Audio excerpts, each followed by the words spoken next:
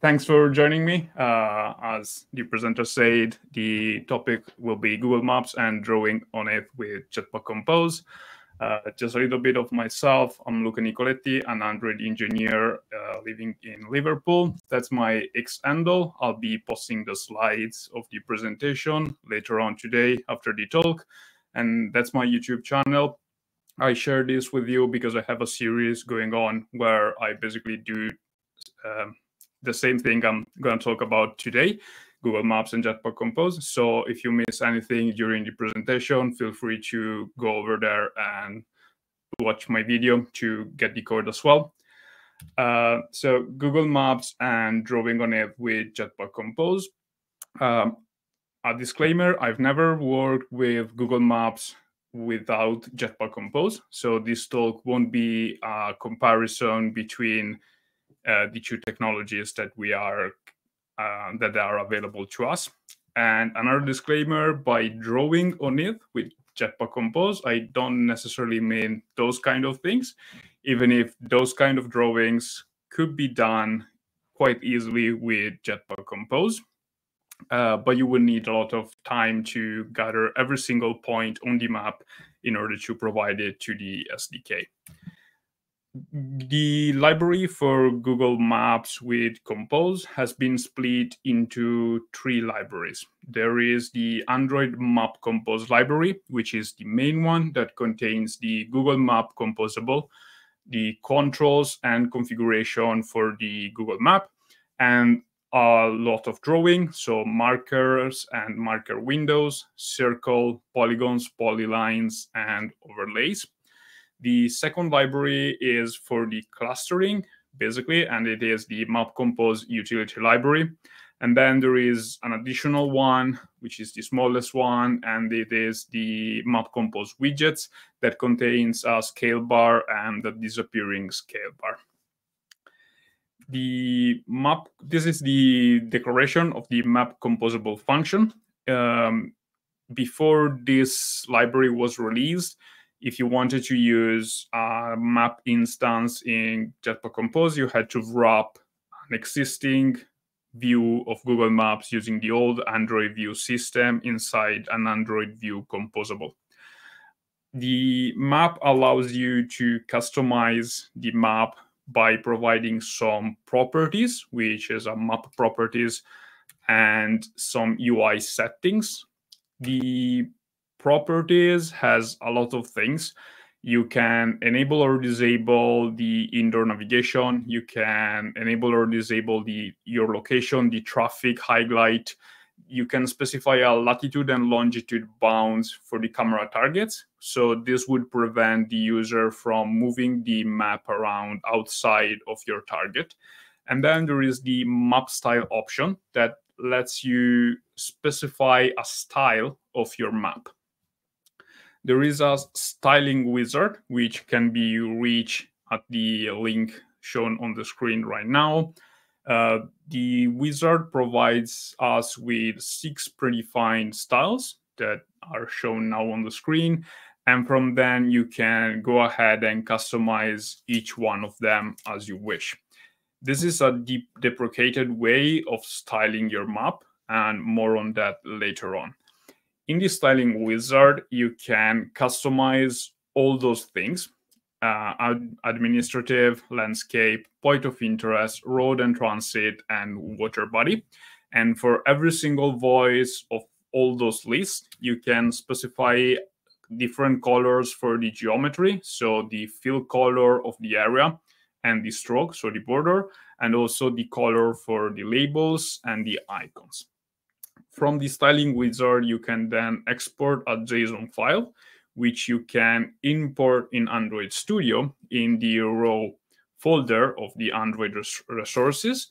And then in the map style option property, you can use the map style option, load raw resource style, providing the JSON file that you just downloaded. But as I said before, this is the deprecated way of styling that. Uh, the new recommended way is to use map IDs.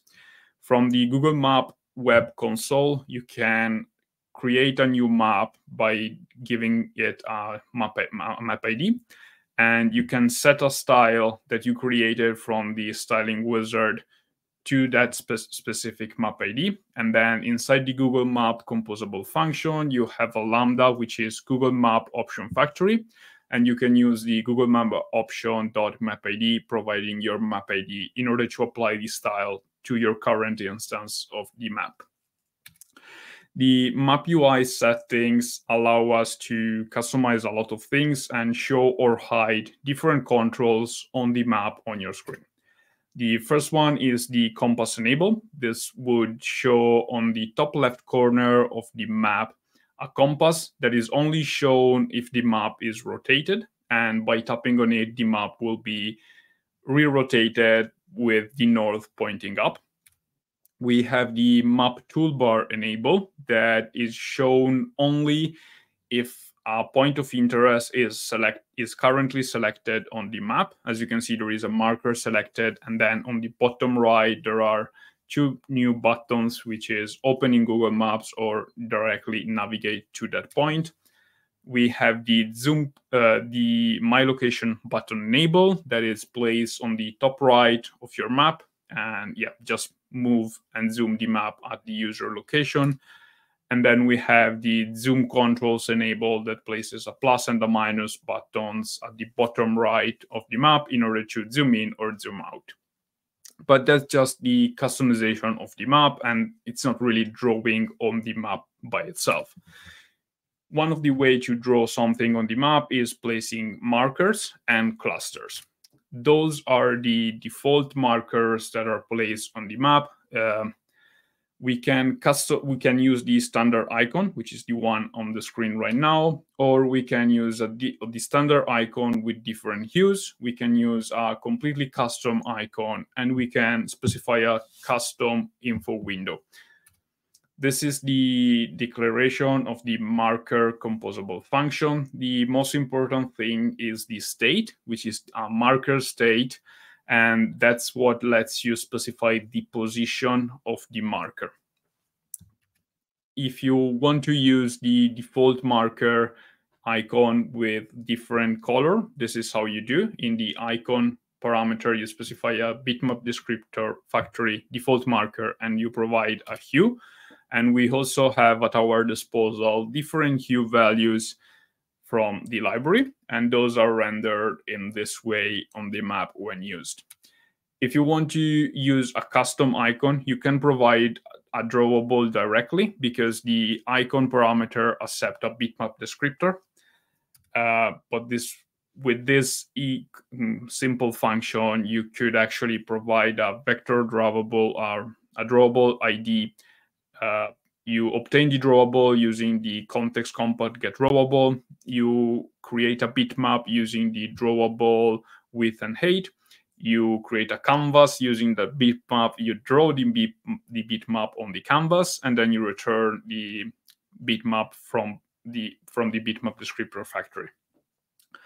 And this is how you could go ahead and use it. You obtain the context. You use the bitmap descriptor you provide an icon resource ID, and you provide that icon to the marker. Um, one point here is that you need to pay attention to is the anchor, because the anchor is default to zero, zero. So it would place the start of the icon at the top left corner uh, of your point of the positioning on the map. So you might want to change the anchor in order to move the icon around to perfectly locate the point on the map. And this is the result by just using a really simple icon I found on the internet.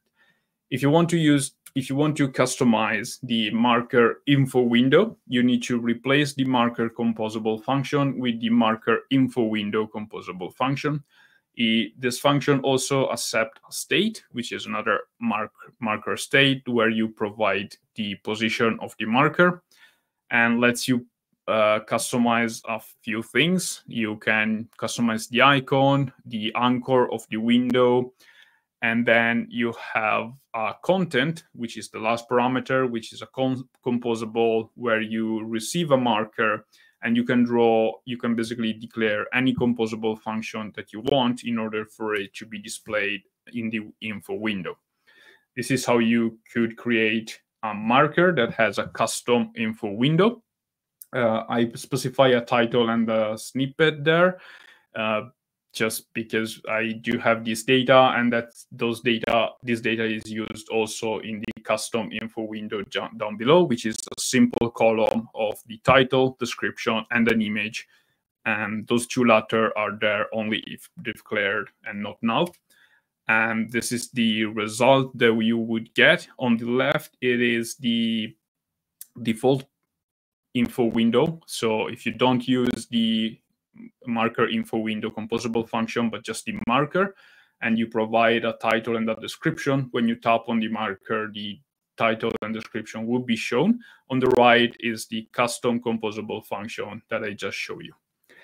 If you happen to have a lot of markers, you might want to use clustering because otherwise the markers can overlap one another. Clusters allow you to group marker by distance. You can customize, you have full control of the graphic and also customize what happens when you tap on a cluster or a cluster item, which is a marker. The, to use the cluster, you need to use this interface, which is cluster item it requires you to specify a position and then you can or cannot specify a title, a description, and an index of the marker. This is a simple marker data class, which is a wrapper uh, um, of the cluster item interface. We specify the position, title, and description, and we default to a z index of one, but you can also return null as z index in order for the clustering function to handle the layering of the cluster by itself. This is the declaration of the clustering composable function. The only required things is items, which is a collection of the cluster item interface that we just showed. But we can customize what happens when you click on a when you click on a cluster when you click on a marker, when you click on the info window, or when you long click on it. And then you can also specify the cluster content and cluster item content, which is what is shown on the map uh, at the position of a cluster or of a marker. This is the default implementation by just providing a list of five elements. And as you can see, the more you, you zoom in or out, the cluster are created by grouping together the markers. And this will be what you can do by specifying uh, cluster item content, uh, which, for example, for now is just a rounded square, uh, blue for the cluster, red for a single marker, and just place the number or the title and description. If you want to customize the cluster item content, be aware that you can't use the marker composable function inside of the cluster item content. And if you try to do that, you get an illegal state exception, invalid applier. This is because the clustering function, as for cluster content and cluster item content, accept two composable, which are also marked as UI composable whereas the marker composable function is marked as Google Map composable. So it, they can be used interchangeably as you wish. The, there is an overload of the clustering function that lets you customize the clustering even more by specifying a cluster manager. The library gave us a remember cluster manager function where we can specify the two composable that we can use for the cluster content and cluster item content and also specify a render. We can create a render by using the remember cluster render function that it's basically the vice versa. It still accepts a cluster content and cluster item content and a cluster manager. The remember cluster manager function returns a nullable cluster manager. So in order for us to use it, we would need to do a, a null safe check on the cluster manager. We can then go ahead and create a cluster render as well and provide the manager that we just got to the render. and then specify the render, the manager inside the clustering function. Unfortunately, this is not enough because if you do that, the render is not used inside of the manager. To use the render inside of the manager, you need to specify that the render of the manager is the render that you just created. Another thing that the manager is useful for is the algorithm with which it groups or ungroup together the markers. There are two classes that are provided to us from the library, a non-hierarchical view-based algorithm and a non-hierarchical distance-based algorithm. The first takes into consideration the screen size, while the other just takes into consideration the pixel. And there is a function which is set max distance between clustered items that lets you specify how close together two markers has to be in order for them to be grouped as a marker, as a cluster, sorry. And once you pick your uh, algorithm that you desire, you can set the algorithm to your manager instance by just using the algorithm uh, setter.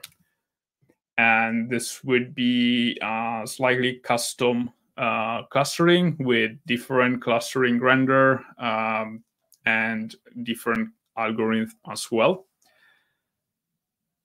I have a duplicate duplicated slide. Yeah. And then to other ways of drawing on maps are shapes. We have circles, polygons, and polylines.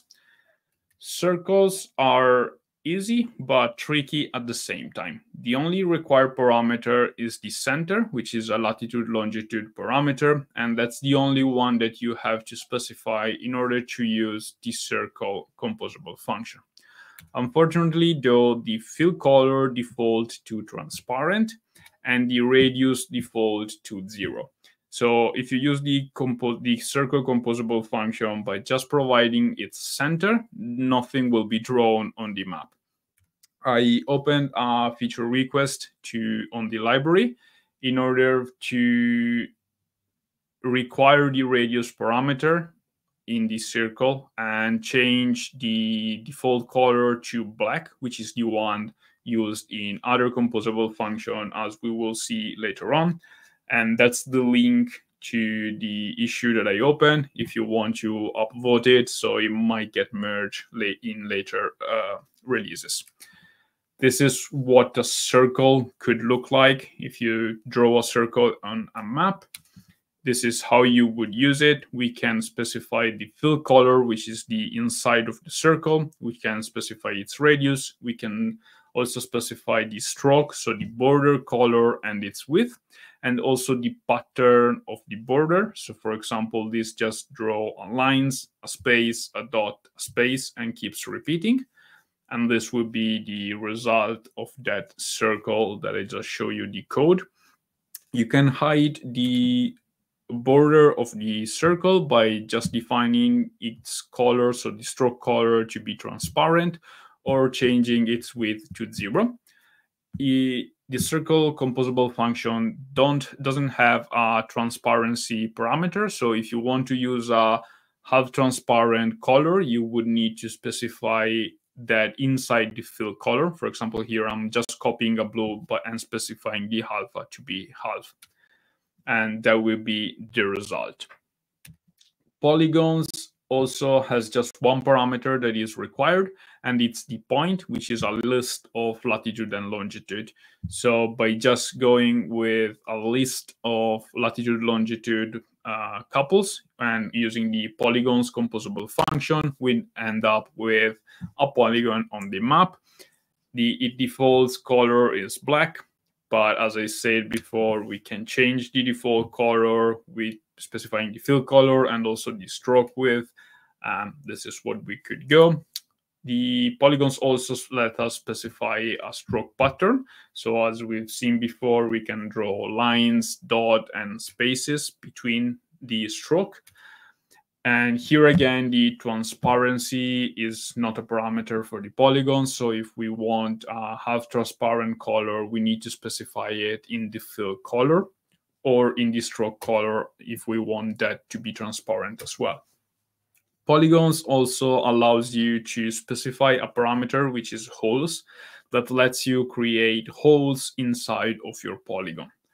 It accepts a list of list of points, latitude and longitude, because you can create multiple holes in your polygons. This would be by just providing a list of one list of points. And just to note that the border is applied inside of the polygon as well. And if you specify more than one list as holes in your polygon, you will end up with multiple holes inside of it. Two noteworthy things here.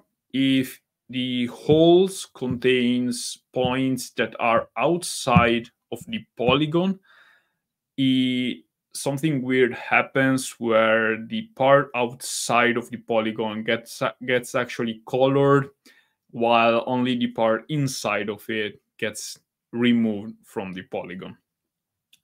And another thing is that the order of the polygons of the points of the polygons matters.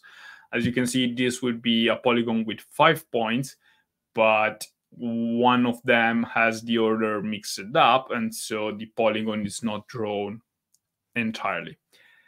Um, polygons don't require you to specify the first and last point as the same point. So the, po the points can be missing one connection, it will draw the last connection by itself. This is not true for polylines. Polylines is basically the same as polygon. It also accepts a list of points and then has everything else defined as, as with a default parameter. So we, if we can go ahead and just use the polyline function with the points, we get a line, a black line on the map you, we can customize the color we can customize the pattern so we can have dashes gaps and points here as well. And we can also specify a start cap and end cap the start and end cap is what is used at the beginning and at the end of the polylines. Here it's really hard to notice but if we zoom in enough you can see that there is a difference between a square gap uh, a square end cap or a circle and cap. Polylines are also possible to be drawn with different color. And there is an overload function of the polyline function that accepts a list of spans where you can specify different colors. Keep in mind that the polyline points and the polyline spans needs to be of the same size because uh, actually the, the spans need to be one lesser than the points. This is because the colors are used in the segment connecting the points. So if you specify just two color, the first one is used in the first segment, and then the second one is used for the entirety of the other polylines and segments missing. Um, another thing you can create is our gradients inside of your polylines. And here again, we set a list of gradients. If you specify only one gradient, this time around, the gradient is applied to the entire polyline and not just between the point one and point two of your polyline. But you can also specify the same amount of gradients as you have points in order to have different gradients on every segment of your polylines. Now let's talk about overlays. We have two different type of overlay overlays. And the first one is a ground overlay, which needs you to specify a position and an image. The image is again a bitmap descriptor, so you can provide a drawable uh, directly. And the position is not a latitude and longitude alone, but it's a ground overlay position. The ground overlay position give us two way of initializing it. It's to create one by having latitude longitude bounds or to create one by a single position, which will be its top left corner and its width and its height. The latitude longitude bounds instead requires you to specify the southwest and the northeast point of your overlay. So you basically create anchor points for the image to be shown on the map. The once you create a ground overlay position, as for example, the south here, I create a latitude longitude bounds by using the southwest and northeast. The anchor is another really important point because it lets you specify which point gets to draw on the top left of the of your overlay uh, which point of the image gets drawn on the top left of your overlay.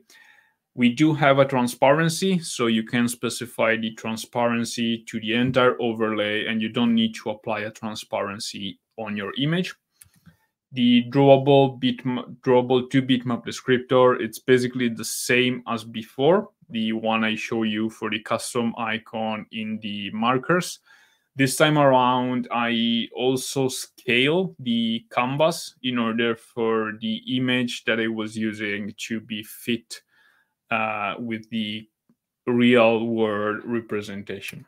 So for example, with the image on the left and the code that I show you before, we can overlay the underground to of London on on the map of London. This needs some um, um, require some research in order to find what would be the top left point on the image uh, represented on the map. And last but not least, we have a tile overlay, uh, which require us to provide a tile provider. And we can also specify the transparency here and the tile provider is an interface that provides you with a no tile, uh, which is an empty tile, and a function that you need to over override, which is get tile. You get three parameters, and you need to return a tile. A tile is basically a square representation of the map.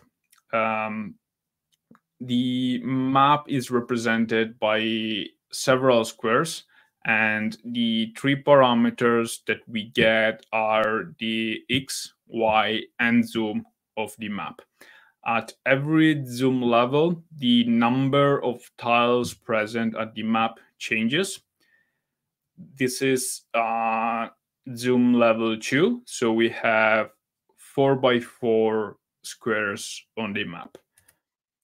You can you need to over you need to implement the tile provider class. This is a coordinate tile provider which is one of the class that you can find used as an example in the map compose library. And it basically what it does it creates a square for every tile and then it writes inside the square the three parameter that we receive in the initialization, it just creates the border and draws the border. And then for every time the get tile is um, invoked, you we receive an x, y, and the zoom level. And what the this function does is basically draw the x, y, and zoom level on the canvas, create a, a byte array output stream, compress the canvas that we just got, and returns it as a tile. The draw tile coordinates function, as I said before, just create a canvas. It prints uh, the tile chords, which is X and Y. It prints the zoom on the canvas and returns the canvas. And this is the result that um, that's shown on the map if we use uh, the coordinator tile provider. The tile provider, uh, the tile at zero zero is at the northwest corner of the map. At zoom level, the entire world is, uh, is rendered in a single tile. At zoom level one, the map is rendered as a grid of two by two. And the number of tile is two by the zoom level by two at the zoom level. So the x and y and zoom level that you get are not compatible with a latitude and longitude position, so you can translate them uh, directly.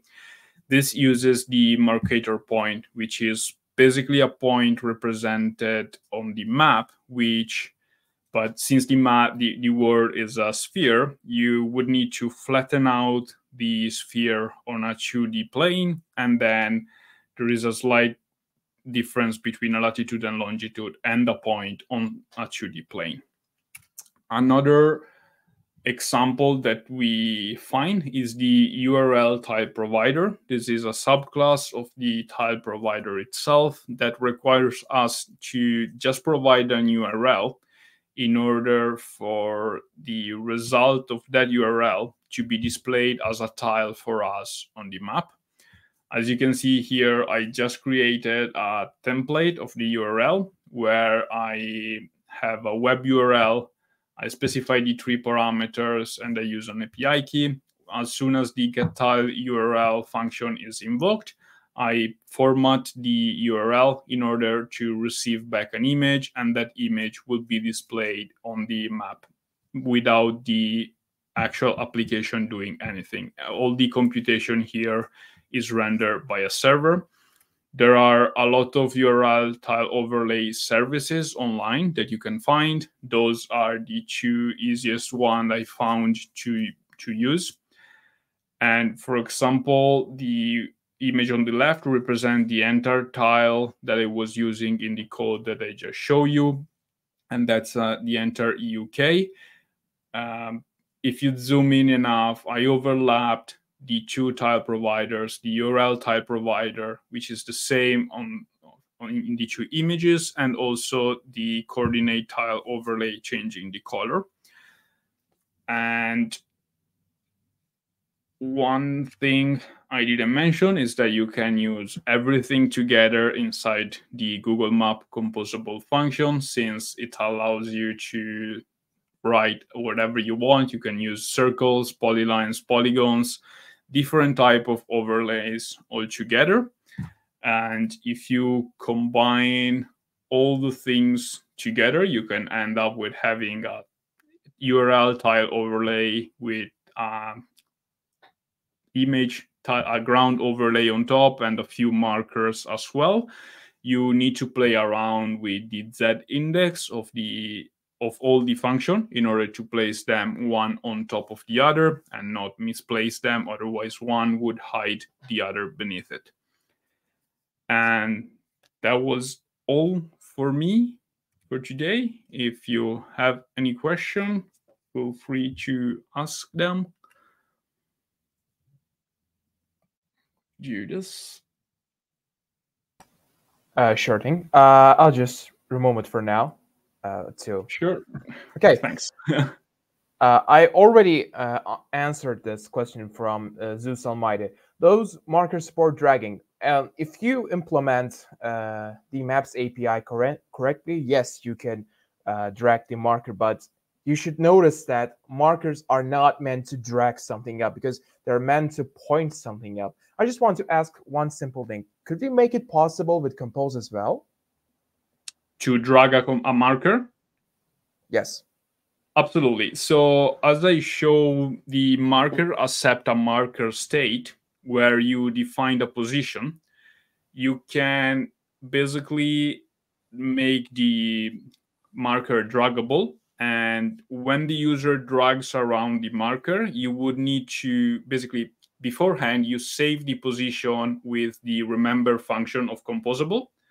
So you have it remembered as a value. And as soon as the user drags the marker and release the marker, you save the new position in the position that you saved with the remember function and provided it as a marker state of the marker. So the marker will be stay on the new position as well. Okay. Mr. Zeus Almighty, I hope uh, you got your answer. You can uh, drag your markers as implementing uh, as an API or as a composable item. All right. Um, are there any other questions? I see no, no any other questions. Uh, shall we wait a little bit for the questions? or do we have time? Hi, we are Hi. right on time, Hello. but we can give it a minute for a few questions. Thank you, Okay. Luca. Thanks to you for hosting. Bravo, bellissimo, signor. Grazie. Grazie tutti. Okay, Luca, if you want to say one more time where the audience can reach you. Yeah, sure. Uh, on Twitter, uh, it's Luca underscore Nicoletti. Otherwise, on the YouTube channel as well, uh, just search for name, surname, and you will find me. Awesome. Okay. Thanks for the information, signor. Thank Thank you you all. for hosting again. Awesome. You're welcome. Thank Okay. you for everything. Thank you, audience.